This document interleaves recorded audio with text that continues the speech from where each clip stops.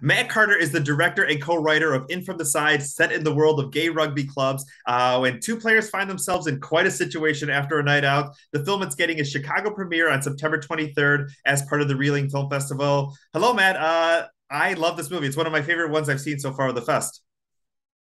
Oh, that's amazing. Thank you so much for saying so. Uh, rugby is a part of your life. Let's talk a little bit about the inspiration for this film. Okay, so I mean, I've been involved in inclusive rugby in the UK for about eight years now, both as a player, coach, referee. And, you know, it's something that um, has always been a big part of my life. Uh, it's such a rich culture with so many sort of specific things that make it, you know, make rugby what it is. And I thought it was just something that really would lend itself to being put on film. And really, you know, it's, it's kind of heavily underexplored rugby. It's not a sport that I've seen many films of, to be honest. And um, and I just thought I, I, felt really inspired to sort of do something set in that world and uh, and sort of you know to make a love story set in that world to make it kind of more accessible to to a wider audience that aren't just sort of into the sport. So that's kind of the that was the inspiration of the, of the project really. There was a moment in, in a night for Warren and Mark that changed everything. Let's talk a little bit about their dynamic and the two of them kind of coming together. Yes, I mean they're, they're played by the amazing Alex Lincoln and Alexander King. You know, just sensational actors. They've got such amazing chemistry, and uh, you know, for Mark and Warren, they, they were just the perfect fit, really. Um, and you know, I, love the way they tell the story and the way they sort of portray those characters. Um, and yeah, it's it's a it's a it's a forbidden love story that I think is sort of unique in the sense that it doesn't stem from homophobia, which I think you get in a lot of kind of gay love stories where you know the reason they can't be together is because the world can't accept them, whereas actually the reason that these two characters can't can't be together is because they both have partners. Um, and a bit spoiler alert there, but uh, you know, it's it's very much a sort of a morally complex film that's very non-judgmental. It sort of talks about you know a lot of interesting things with uh, open relationships and stuff that I think is you know is massive in the gay community that I don't think I've really seen explored much on on film either. And sort of I think it very much holds a mirror up to us and sort of looks at the things that we do and the you know the love that we we share for each other. And it's uh yeah it's it's a lot of things. I mean I think yeah I think you're absolutely you know 100 percent right. Especially no two relationships look alike, but I think a lot of people have found themselves in those kind of situations on a night out where either you act on something or you don't or you want to or you know and i think so many people can relate to a lot of the storylines here in this uh in this film.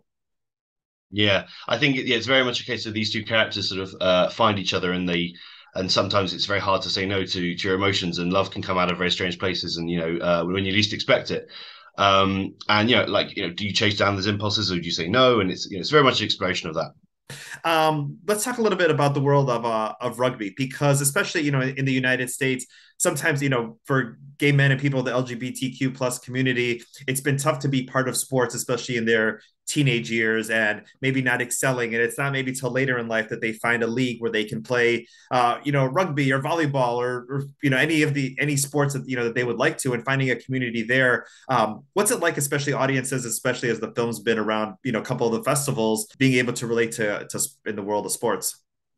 I think you know for the reasons you said it, it was resonating quite a lot with people because it's kind of a universal experience for sort of queer people to have maybe had a really bad experience in school, you know, um, you know, uh, having doing sport and thinking it's never for them and ne- never visiting it again.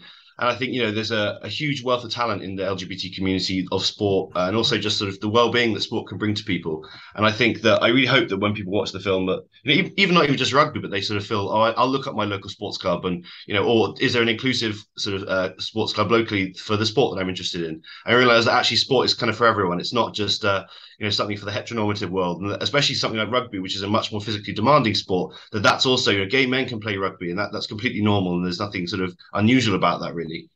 And let's talk a little bit about the friendship and uh, the teamwork because not only do we see the relationship between Warren and Mark, but there's a lot of friendships that go on within this world of, of rugby.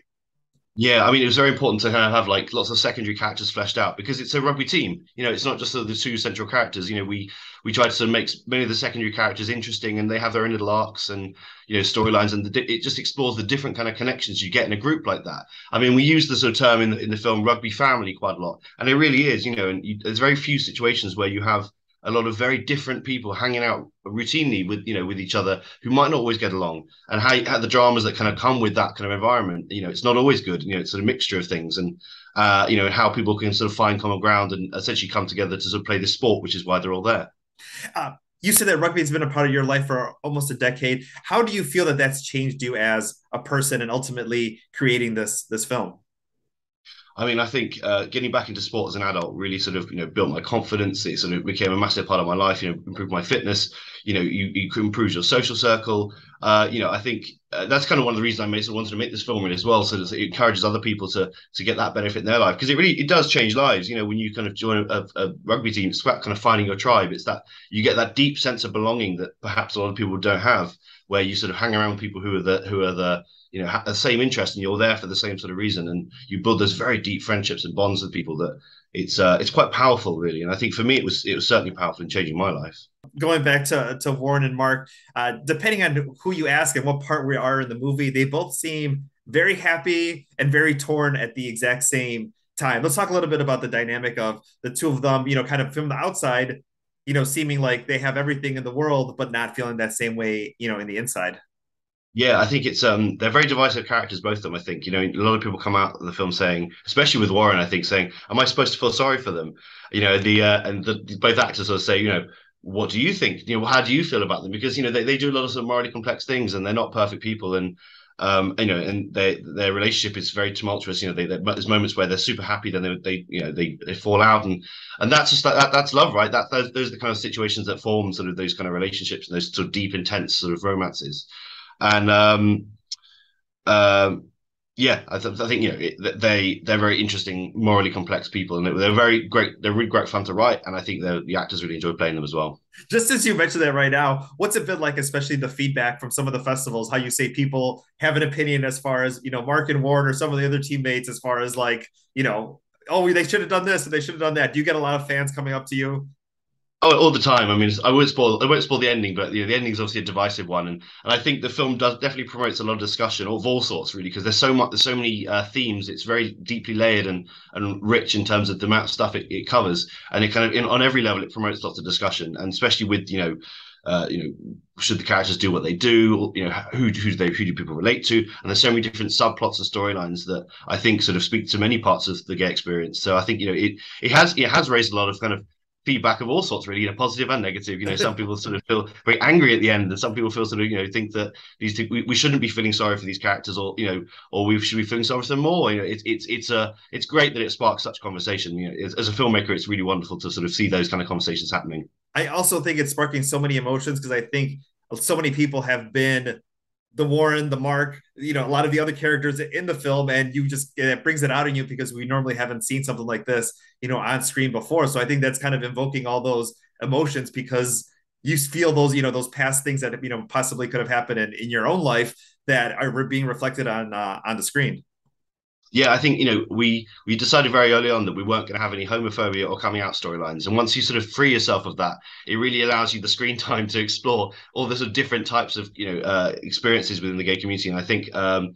you know there, there's so many different characters that relate to in so many different ways. You know, we've all had a best friend who we sort of have a, a crush on who doesn't fancy us back. We've all kind of had you know been the person who maybe had a bit too much drink at a party. There's all these sort of different uh, you know, we, we, lots of people have sort of carry on trauma, and there's different characters uh, who who manifest that past trauma in different ways, whether that's positively or negatively. And I think, yeah, there's so many so many different characters in there that I think everyone relates to someone in the film.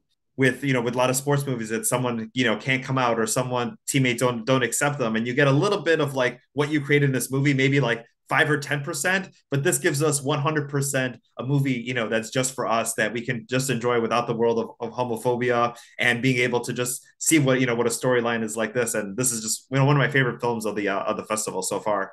Oh, that's great. Thank you. No, I, I mean, I agree. I think, you know, uh, you, it's very easy to get bogged down with homophobia and coming out storylines because that's such a, a, huge thing in itself. Once you, it's hard for that not to take over the plot almost. So we almost had to make, agree that we none of that in the film at all, so that we had all that time to sort of explore the other stuff. And um, yeah, I mean, I think uh, it is a film sort of for, you know for us, and I think I think you've got to be very forward thinking when you're talking about gay cinema because it's very I mean, there's a place for coming out and homophobia storylines to be told, but I think there's lots of people telling those stories, and I don't really see many people telling other sides of the stories, you know, all the other stories that come from the community. And I think, you know, uh, you also kind of have to be sort of forward thinking in the sense you've got to model the world that you want to see.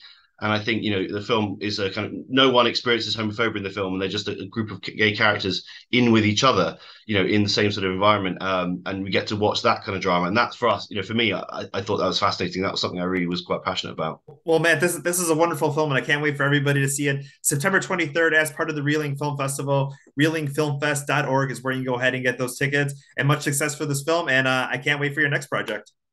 Brilliant. Thank you very much. Good speaking to you. You too. Thank you so much.